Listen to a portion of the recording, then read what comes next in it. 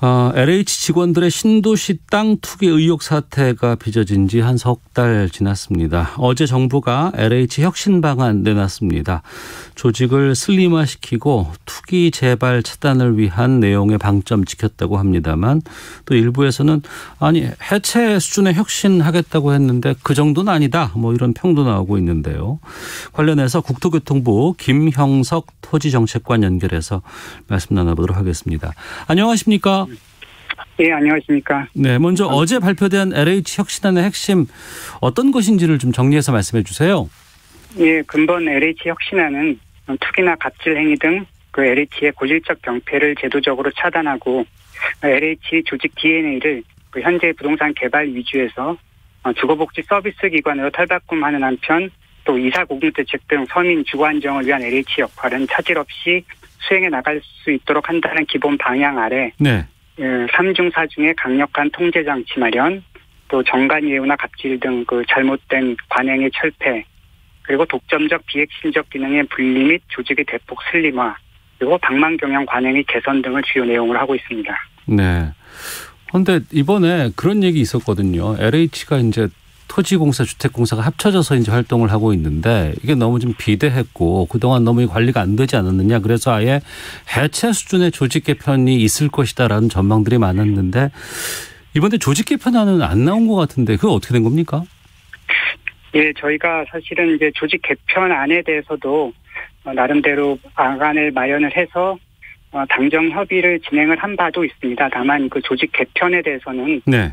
어, 뭐 주거 복지나 주택 공급에 미치는 영향이 매우 큰 사안인 만큼 음. 좀더 충분한 의견 수렴을 통해 결정하는 것이 그 바람직하다는 의견이 제기됨에 따라서 예. 어, 공청회 등 추가적인 의견 수렴을 거쳐서 확정하기로 하였습니다. 그래서 뭐 조직 진단을 하지 않는다는 게 아니고 좀 더 신중하게 네. 결정하기로 네. 한 것으로 이렇게 이해해 주시면 감사하겠습니다. 아, 그러면 이 개편안에 대해서는 공청회 같은 것들 차후의 절차들을 좀 더 거치고 여러 가지 논의 끝에 이후에 발표가 되겠다 이렇게 이해를 하면 되나요? 예, 맞습니다. 그러면 그 방향성 같은 거는 어떻게 가고 있, 가게 될지에 대해서는 좀 말씀해 주실 수 있겠습니까?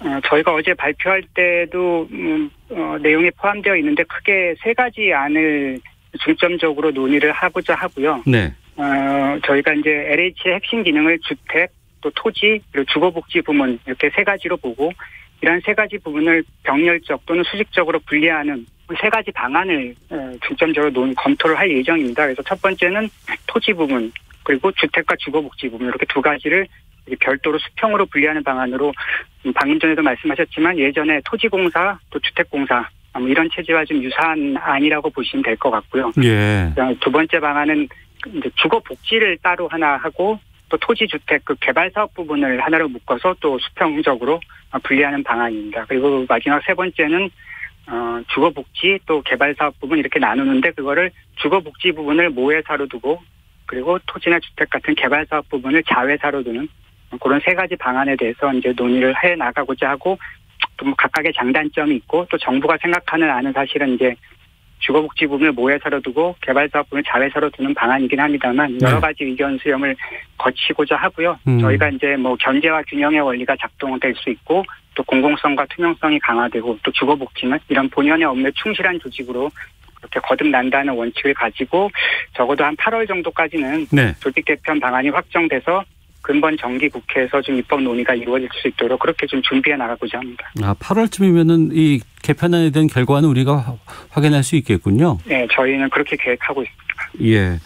어제 정부가 내놓은 혁신안들 여러 가지를 담고 있습니다. 조직 좀 축소하고 또 투기 재발 차단 위한 내용들 아, 제시해 주셨는데 이거 하면은 좀 LH 내에서의 부동산 투기 이런 건 좀 근절될까요? 어떻게 보세요? 예, 저희는 뭐 투기 행위가 다시 재발되지 않도록 3중, 4중의 통제 장치가 마련되었다고 생각하고 있습니다. 우선 LH 직원 전원에 대해서 부동산을 포함한 모든 재산을 등록하도록 의무화했고요. 네. 또 이제 실사용 목적 외 토지 취득을 원칙적으로 금지했습니다. 그리고 이제 사업지구를 지정할 때 그 사업지구의 토지 소유자 정보와 또 임직원 보유 토지를 대조해서 투기 의심 사례가 발생하면 수사를 의뢰할 것입니다. 그리고 저번에 이제 LH 사태가 발생한 후에 저희가 꼭 직무상 관련 여부랑 상관없이 공개되지 않은 정보를 이용해서 투기를 한 경우에는 5년 이하의 징역을 받도록 형사처벌 수준을 대폭 강화했고 또 이를 통해 얻은 이익의 3배에서 5배 상당하는 벌금을 부과하도록 LH법을 이미 개정을 한 바 있습니다. 네. 어, 그리고 또 이번 사태 원인된 공공택지 입지조사 업무는 또 국토부로 회수해서 철저히 관리를 해 나갈 계획이고 또 그 밖에도 뭐 준법 감시관 제도의 도입이라든지 뭐 불법 행위 신고센터 운영이라든지 이런 어떤 국민을 통한 상시적 감시 체계도 구축할 예정이기 때문에 음. 이런 여러 가지 그 조치를 통해서 투기 행위 재발이 방지될 수 있을 것으로 이렇게 기대하고 있습니다. 말씀하신 것처럼 내부 정보 이용해서 이제 미리 선점해서 막 투기 투자하고 투기하고 이런 것들이 문제가 됐었잖아요. 그래서 이번에 네. 보니까 공공택지 조사 업무가 이제 국토부로 이제 이관이 되도록 했는데 네. 이건 어 그럼 국토부의 어느 부서가 담당할 예정인지도 궁금하고 또 이 부서에서도 또 사전 정보 유출에 대한 문제점들 발생할 수도 있기 때문에 여기에 대한 계획들도 좀 준비가 됐을 것 같은데요. 예, 지금 지금 현재 이제 공공택지 조사를 지금까지 이제 LH가 하고 그럼 그, 그 결과를 가지고 저희가 공공택지를 최종 선정하는 것 자체를 공공주택 추진단이라고 국토부 내 조직이 있습니다, 기존에. 예. 이제 앞으로 그 공공주택 추진단에서 어떤 후보지 최종 선정 외에도 후보지 조사 업무까지 국토 공무제 주식단에서 저희가 이제 담당을 하고자 하고 한 한 개과 정도를 설치해서 운영하면 될 수 있을 것을 저희는 보고 있습니다. 그래서 후보지 선정함에 있어서 각종 뭐 시스템 같은 것들을 구축을 한다면 네. 어, 그런 것도 어느 정도 개발 가능 후보지가 어디 있고 공법상 제한은 어디가 있는지 또 어디가 수요가 많고 뭐 지가 같은 것들 이런 것들 전반적으로 그런 시스템을 통해서 저희가 어느 정도 판단할 수 있고 그런 판단하에 이제 현장 점검이라든지 이런 걸 통해서 후보지 선정이 이루어질 수 있을 걸로 생각을 하고 있고요. 국토부로 이관하는 경우에도 이런 정보 유출이 발생하지 않도록 촘촘한 통제 자체를 구축해 나가고자 합니다. 그래서 어떤 이런 전담 부서에서 후보지 발굴 업무를 전담할 때 업무 공간도 분리하고 검토 잔료는 이제 대외 위로 관리하도록 하고요. 그다음에 방금 말씀드린 뭐 후보지 분석 시스템 같은 것들을 운영을 할 때 정보 열람자를 뭐 관리한다든지 뭐또 지자체나 공사 협의가 있을 수 있는데 그럴 때 보안 각서 증거나 뭐 보안 삼성 명단 기록 등 이렇게 엄격한 조치를 통해서 이런 일이 어, 정부 유출 같은 일이 방지될 수 있도록 그렇게 노력해 나가겠습니다. 네. 이번에 조직 슬림화를 위해서 LH 인력 2천 명을 감축한다는 내용 있지 않습니까? 예, 그렇습니다. 이 인력 감축이 어떻게 이루어질 수 있을지 좀 궁금하기도 하고 어떤 원칙 같은 것들을 어, 통해서 시행할 예정인지 좀 말씀해 주신다면요. 예, 일단은 저희가 이제 이번에 기능 조정을 해서 LH 업무의 일부를 타 기관에 이강되거나 또는 이제 축소하고자 합니다. 그래서 그걸 통해서 한 천명의 정원을 감축하려고 하고 있고요. 그래서 예컨대 뭐 시설물 성능 인증이나 안전 영향 평가, 뭐 새뜰마을 사업 이런 것들은 다른 기관이나 지자체로 이관되고요. 또 집단 에너지 사업 이런 것들은 업무를 폐지해 나가려고 하는데 그런 경우에 있어서 이제 정원이 한 100% 정도 감축해 나갈 수 있다고 보여지고요. 또 일부 뭐 물류단지라든지 리츠 사업 이런 것들 기능이 축소되는 경우는 뭐 한 50% 수준에서 물량 축소 비율에 맞춰서 인력 감축을 추진할 계획이고 그다음 이제 2단계로 전체 인력의 70% 이상을 차지하는 지방 조직에 대해서는 이제 정밀 진단을 거쳐서 한 1000명 이상의 인원을 추가로 감축할 계획입니다. 그래서 이렇게 이제 정원이 감축하면 현원을 뭐 강제 퇴사를 갑자기 할 수는 없기 때문에 네. 예, 초과 현원이 발생을 하게 될 텐데 그거는 노사관계 법령에 위배되지 않는 범위 내에서 연차적으로 단계적으로 이렇게 감축해 나갈 계획으로 있습니다. 예, 노사관계 말씀해 주셨는데 LH 노조의 입장을 보면 국민에게 사죄하는 마음을 가지고 있다. 하지만 혁신안이 마련되는 과정에서 직원들의 의견이 철저히 배제되는 것에 대해서는 좀 아쉬움 표하는 듯한 입장이거든요. 이건 어떻게 보고 계세요? 예, 저희가 이제 투기 사태 후에 이제 조직 개편이라든지 혁신안을 마련하는 과정에서 일부 LH 의견을 좀 청취를 하긴 했습니다만은 LH와 이걸 같이 함께 막 하는 건 사실 이제 여러 한계가 좀 있었습니다. 다만 네. 이제 어제 LH 혁신 방안이 발표됐기 때문에 이 혁신 방안을 구체화하고 실행하는 과정에서는 LH와 좀 더 많은 소통을 하면서 보다 합리적인 방안을 이렇게 만들어 나갈 계획으로 있습니다. 네. 2천 명 조직 슬림화 감축 내용은 알겠습니다만 8월에 만약에 이 조직 개편안이 발표가 되면 이것도 좀 변동이 그 연동되는 건 아니겠습니까? 어, 조직 개편이 되면 거기에 맞춰서 또 이루어질 수 있을 것 같고 다만 인원 감축 과 그거는 꼭 연동된다고 보긴 어렵고 그거하고 상관없이 인원 감축은 이루어져 나갈 거고 그 인원 감축이 지금 한 조직에 있는 건지 아니면 이렇게 분리가 되는 건지 그런 변화가 좀 생길 수 있을 것 같습니다. 네. 청취자들께서도 많은 관심 가지고 의견 주고 계시는데 1810님은 비위 공무원 파면하고 투기 재산 두 배 몰수하는 게 정답으로 보입니다 라는 의견도 주시고요. 이진우님은 그동안 법이 없었던 게 아니잖아요. 운영하는 사람이 문제입니다 라는 의견도 좀 주셨는데 LH 전직 간부들의 경우도 상당히 많이 문제가 되고 있습니다. 네. 뭐 전관 예우라든가 특혜 의혹 같은 것들 이미 이 사람들은 빠져나갔고 어 자신의 어떤 것들은 막 어, 다 챙긴 듯한 느낌이 지금 드는데 이건 어떻게 조치할 계획입니까?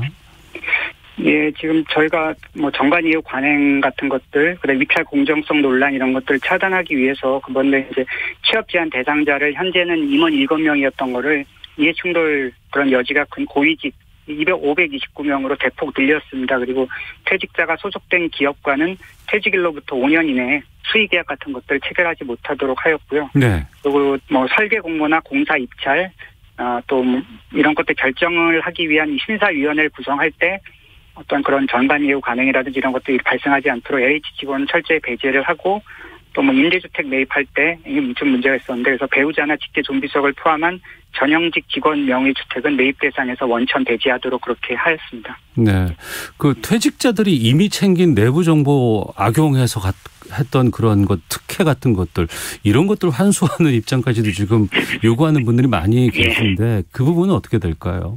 음, 저번에 이제 저희가 LH법 사실 개정할 때 네. 기존 거에 대한 어떤 소급 적용 같은 것도 사실은 많이 논의가 됐었습니다만 어, 사실은 뭐 현직이든 전직이든 떠나 퇴직자든 떠나서 이 기존에 있었던 일을 새로 만들어지는 법에 따라서 소급 적용하기는 사실상 쉽지 않다 이런 이제 의견들이 많았고 다만 이제 거기에 대해서 뭐 내부 정보를 활용했다는 것이 확정이 된다면 그런 경우에 있어서는 그 부당이득 같은 거는 지금 환수할 수 있게 돼 있습니다. 이제 그런 네. 것들이 판별이 될 수 있는지가 좀 문제가 될 수 있을 것 같고요. 그다음에 저희가 LH법을 개정하면서 퇴직 후 10년까지도 내부 정보를 어, 아, 꼭 내부 정보라기보다 기존의 정보를 활용해서 어, 하면은 형사처벌이라든지 이런 것들 대폭 강화했고 앞으로 나오는 거에 대해서는 뭐 부당이득의 3배에서 5배까지 환수할 수 있게 하고 이런 조치들을 이제 취했을 때 그래서 이제 앞으로 나오는 것들에 대해서는 그렇게 이제 강하게 예, 이렇게 뭐 환수라든지 명 처벌이라든지 이런 것들 할 수 있을 것으로 그렇게 보고 있습니다. 알겠습니다. 청취자께서도 4150님 공무원이 내부 정보를 돈벌이 이행했다면 폐가망신할 정도의 처벌 규정이 현실적인 것 같습니다라는 의견도 보내주셨는데요. 네. 어, 이 LH 직원들의 투기 의혹이 기자회견 시민단체 기자회견을 통해서 불거진 게 지난 3월이었습니다. 네. 공교롭게도 그 전에 2월 초에 이사 부동산 대책 이 나왔었잖아요. 예. 그리고 이사 부동산 대책은 LH 위주의 공기업 위주의 어 여러 가지 그 주택 보급 정책들이 담겨 있었던 것입니다. 혹시라도 이번에 이런 그 LH 조직 기능 축소, 조직 개편 이런 걸로 그 주택 공급 정책 전반까지 이걸 바꿔야 되는 건 아니냐라는 시각도 있고 한편으로는 아 그건 그렇지 않다. 계속해서 그건 강도 높게 추진해야 된다라는 의견도 있는데 이 부분에 대해서도 좀 입장을 밝혀 주시죠. 예, 저희는 뭐 이사 대책 등 주택 공급 정책은 서민 주거 안정에 미치는 영향이 크기 때문에 차질 없이 추진되어야 한다고 보고 있습니다. 그래서 근본 LH 혁신안을 마련하는 과정에서도 그동안에 이제 토지, 토지 투기 같은 LH 구조적 문제를 개선해 나가고 또 LH가 앞으로 이제 주거복지 서비스 전문기관으로 이렇게 역할을 전환하고 이런 것들을 중시 여기면서도 뭐 이사 대책이나 이런 주택 공급 대책은 차질 없이 추진될 수 있도록 하여야 한다는 그런 원칙 하에서 근본 혁신 방안을 마련을 했고요. 그래서 어, 근본 혁신안에서 공공택지 소보지 선정 권한 이건 이제 근본 사태와 밀접하게 연관돼 있기 때문에 이 부분은 국토부로 회수하지만 그 외 LH 기능 중에서 토지 또 주택 주거복지 업무 같은 것들은 핵심 기능으로 분류해서 대부분 좀 현재는 일단 존치하기로 했기 때문에 주택 공급 정책 기준의 차질은 최소화될 걸로 그렇게 생각하고 있습니다. 네. 부동산 시장이 상당히 어, 급등락이 심했고 아, 낙은 없었죠. 급등이 좀 상당히 많았고 이것 때문에 네. 상심감 느끼는 국민들께서 상당히 많이 계십니다. 어, 앞으로 좀 부동산 투기 근절을 위해서 국토부 어떤 부분에 초점을 맞춰 나갈 계획인지도 좀 말씀해 주신다면은요. 아, 예, 저, 근본 이제 LH 사태가 3월 초에 발표를, 아, 발생을 했었고요. 그래서 지난 3월 29일 날, 뭐, 예방, 적발, 또 처벌, 환수, 이런 전 과정에 걸쳐서 어떤 고강도의 부동산 투기 근절 및 재방 방지 대책을 정부로 발표한 바 있습니다. 그래서 국토부에서도 이러한 그 투기 근절 및 재발 방지 대책을 차진 없이 이행해 나가고자 합니다. 뭐 미공개 정보 이용 등 그동안 좀 규율이 불안전했던 시장 교란 행위에 대해서 어떤 규율 체계를 실효적으로 좀 개선해 나가고요. 또 날로 전문화되고 복잡 다양화되는 부동산 불법 행위에 대해서 어, 적발 역량을 제고하고 또 그런 조사 권한을 확보하는 그런 부동산 거래 분석원 설치도 추진하고자 하고요. 부동산 투기 근절을 통해서 국민들이 좀 안심하고 또 거래할 수 있는 그런 여건을 조성하기 위해서 지속적으로 노력해 나가겠습니다. 알겠습니다. 어, 8월쯤으로 말씀해 주셨습니다만 이 조직 개편은 확정돼서 좀 발표가 될 때 되면 다시 좀 연결을 하도록 하겠습니다. 아, 예, 알겠습니다. 예, 오늘 말씀 고맙습니다. 예, 예, 감사합니다. 네, 지금까지 국토교통부 김형석 토지정책관 연결해서 좀 말씀 나눠봤습니다.